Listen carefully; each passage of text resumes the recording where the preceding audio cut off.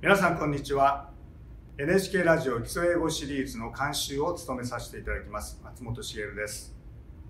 小中高の英語教育が変わりつつある今この基礎英語シリーズも新年度大きく刷新されます。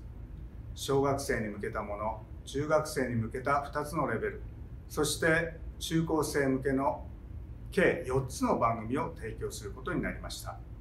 皆さんの英語力そして興味関心に合わせて番組を選んで聞いてください。もちろん2つ以上の番組を聞いていただいても結構ですよ。